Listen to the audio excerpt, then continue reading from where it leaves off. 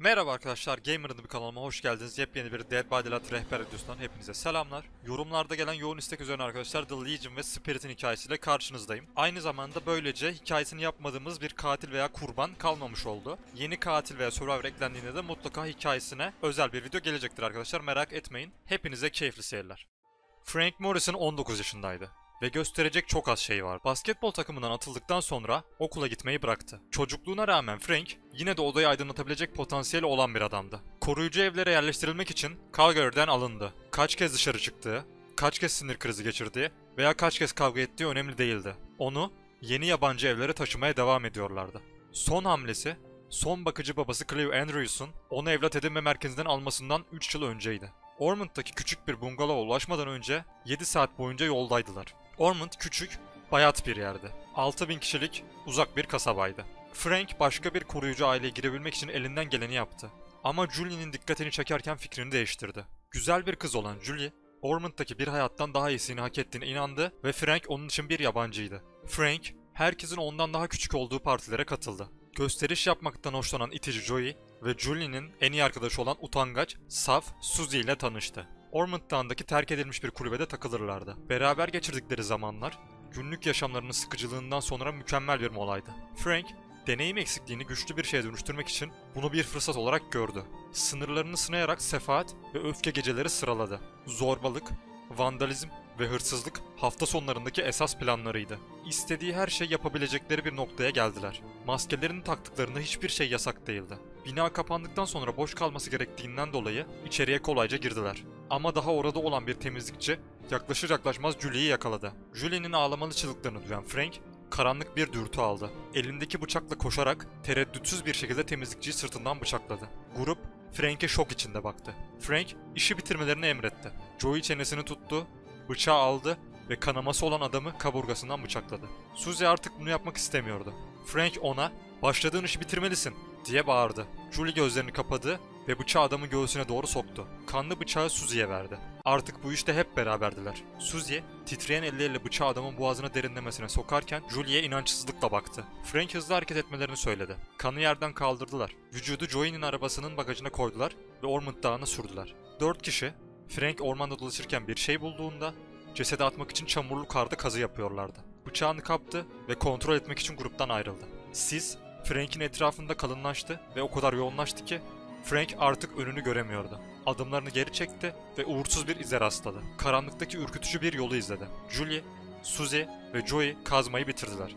Ama Frank ortalıkta görünmüyordu. Julie çamurlu ayak izlerini karda gördü ve üçü izi takip etti. Bu da onları ormanın daha derinliklerine çekti. Julie, Suzy ve Joey o gece eve geri dönmediğinde ebeveynleri Frank ile kaçtıklarını düşündü. Her aile farklı bir teoriyle geldi. Ancak şehirdeki ruh hali Ormond Dağı'ndaki terk edilmiş köşkte bir ceset bulunduğunda değişmiştir.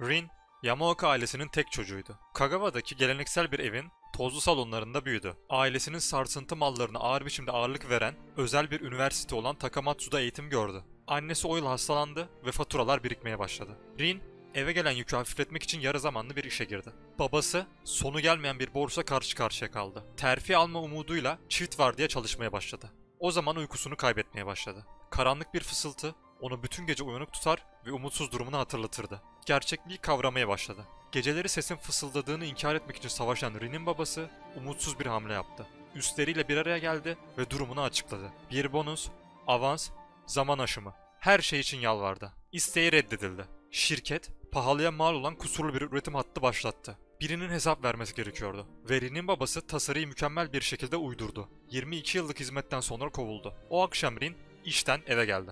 Bisikletini kulübeye park ederken evden gelen çığlıkları duydu. Ebeveynlerinin odasına merdivenleri çıkarak tırmandı. Odada annesinin parçalarını yerde buldu. Uzuvları temiz bir şekilde kesilmiş, göğüsleri dilimlenmiş, göğüs kafesi açılmıştı. Rin'in ağzı açık kaldı. Babası katanayı sert bir ifadeyle kullanıyordu. Onu durdurmak için ağladı ama yine de kolunu kesti. Koştu ve kan bulaşmış zeminde kaydırdı. Kapı çerçevesini destek olarak kullanarak kendini yerden kaldırdı. Diğer kolunu kırarak duvarı parçaladı. Koridorda topallarken acı çekerek, çığlık atıyorken babasının bıçağı tarafından karşılanacaktı. karnının yumuşak etini bir arada tuttuğu için titriyordu. Annesinin karışık uzuvlarının görüntüleri gözlerinin önünde parladı. Rin babasına saldırdı. Babası Rin'in yırtık karnına yumruk attı ve Rin acı içinde geri tepti.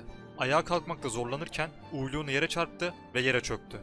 Merdivenlere doğru sürünürken saçını tuttu ve onu bir bölüme yasladı. Cama çarptı, cam kırıldı ve Rin bir kat aşağı düştü. Üstünde bir yerlerde ayak sesleri duydu.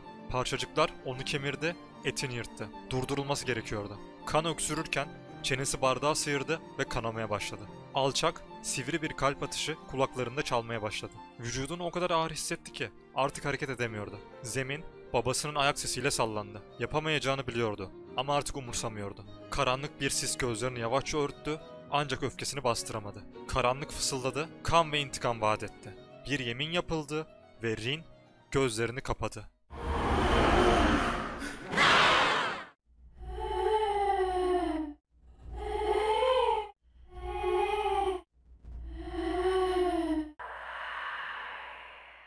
İzlediğiniz için hepinize çok teşekkür ediyorum arkadaşlar. Umarım hikayeler hoşunuza gitmiştir. Umarım merakınız giderilmiştir. Dediğim gibi böylelikle oyunda hikayesi kalan Survivor veya da katil kalmamıştır. Eğer diğerlerinin hikayesini merak ediyorsanız sağ üstte çıkan ünlem butonundan hem katillerin hem de Survivor'ların hikayesi videosuna gidebilirsiniz arkadaşlar. Bir sonraki videolarımızda görüşmek üzere. İyi günler, iyi eğlenceler.